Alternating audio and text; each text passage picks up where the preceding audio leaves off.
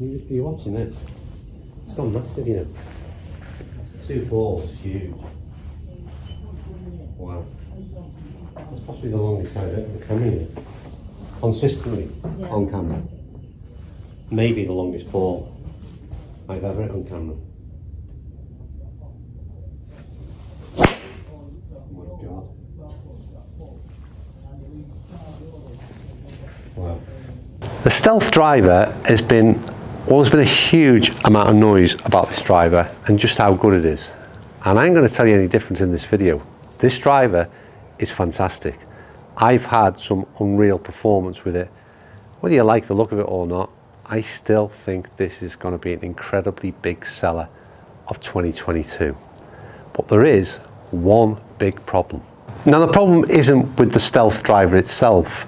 The three shots you've seen me hit at the beginning of this video were with another driver. And unfortunately, that's TaylorMade's biggest problem this year.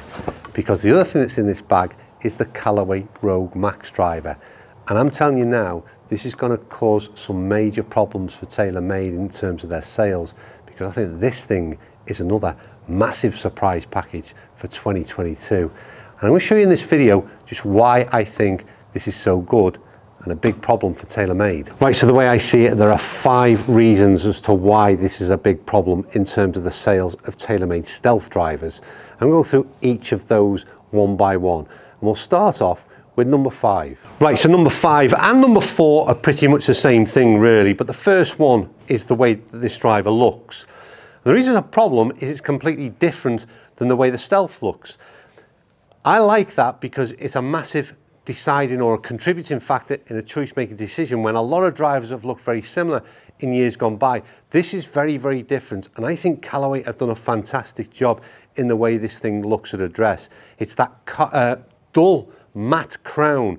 It's sort of faded out with that checkered flag look. There's a slight hint of the colouring at the back end, slightly different in its shape and its profile, but I think they've done a superb job in the way this thing looks at address. And I said we do five and four at the same time. And number four is the sound of this driver. I have been joking I can't hit a bad shot with this thing and that's absolutely right down the middle again. But the sound is completely different as well. And I think it'll appeal to one or the other. The Stealth is very much a sort of quite a loud sounding driver. I think what the Rogue has done really, really well is making it a little bit more softer, more muted, almost a bit more responsive in terms of back into the hands. You certainly know exactly where you've hit it on the club face. So five and four are the fact that they've made a really good looking driver in terms of Rogue and they've made a really good sounding driver in terms of Rogue. Right, so problem number three in the list, and that is the price tag because the Callaway Rogue is coming in at 479 in terms of an RRP.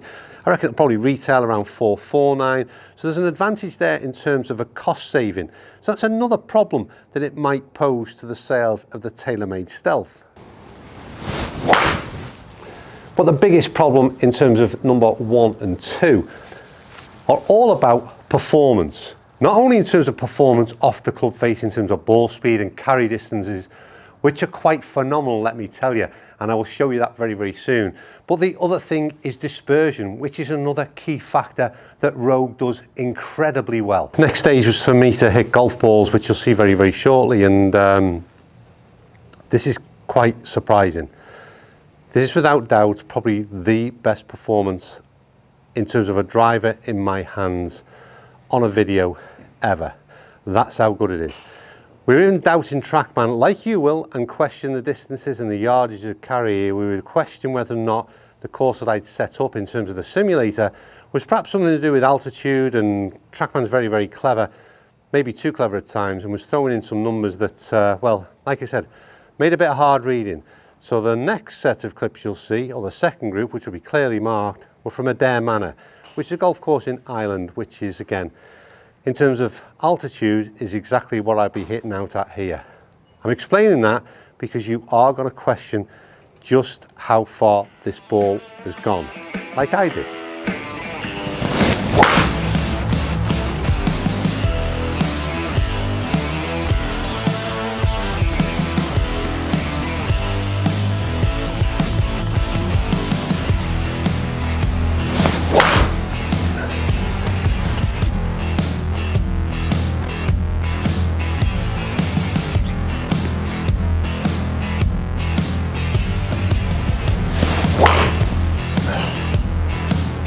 One.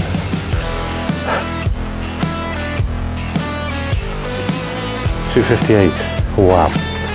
This is just like nothing else I've ever hit. So on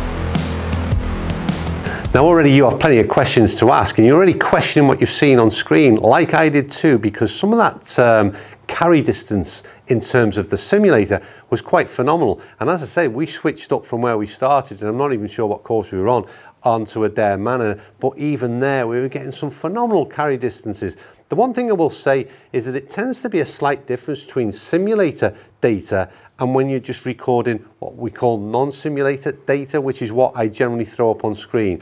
So if anyone's got a problem with what they've seen in terms of carry distances and they question it, I'm okay with that. But what we'll do now is I'll throw up the data like we record every single week, not forgetting exactly the same settings. And I'm explaining this in advance because yet again, there's to be some phenomenal numbers in terms of performance that you're to see right now. So numbers on screen for you now. The clubhead speed is the real weird one. We did it in the initial head-to-head -head when we did Stealth versus Rogue. The clubhead speed is recording quite low for Rogue. I don't really understand why it's doing that, but I would suggest it's probably two or three mile an hour different than what it actually should be. And it's certainly two or three mile an hour different than what I normally record in terms of um, club head speed. Anyway, Ball speed, on average 148. But what you've got to look at is the average ball speed throughout all of those shots that we've hit. It was pretty phenomenal, really, really high. And in some cases, yes, you will question those 152, 150 and 151 ball speeds in relation to the club head speed. Lots of you will point out the smash factor. Do what you will with it. I'm recording data straight out of TrackMan as I do every other week. These are the numbers that I got today. Make of it what you will. Carry distances, like I said, incredibly consistent again. 244 on average. Longest ball, what is it, 250 just over. We had a 248 ball in there as well. They're, for me, phenomenal numbers. You then look at that launch of 13.3, peak height of 84, and a spin number of 2170. I'd go as far as to say this, those set of numbers are pretty much optimum, perhaps more than optimum in some cases in every single aspect in terms of launch angle, in terms of spin rate, carry distances, ball speed, everything out of there that we've just seen is, without question, the best performance that I've achieved with a driver um, ever. That's how good this was. At the beginning of the thing, I said TaylorMade has one big problem. Well, they do have a big problem because they've got a massive competitor on their hands in the Rogue. But I think the problem that they've got is really the benefit what you've got in terms of a consumer. Because right now, you've got without doubt, and I said it in their first head-to-head -head video, you've got some incredible uh, products available to choose from. And two of the very best drivers, in my opinion, that have been produced ever. Like I said, this isn't about knocking the Stealth. The Stealth has been phenomenal in the performance that I've tried it in the last sort of six weeks or so. Cannot fault it. And much the same and just edging it would be the performance of the Rogue, certainly on today's performance. But phenomenal in terms of what they've done. And uh, like I said, lots of people will pick fault in that.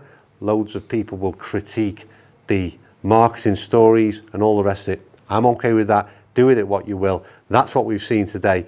I want to know your feedback. What are you thinking? What are you thinking of the Rogue and how much of a problem do you think it causes for that TaylorMade stealth sales this year? Where are you going and what are you going to try? And I really can't wait for these to get out into retail and for you to get the opportunity to try them and see if you're finding the benefits in terms of performance that I have seen because like I said, unreal.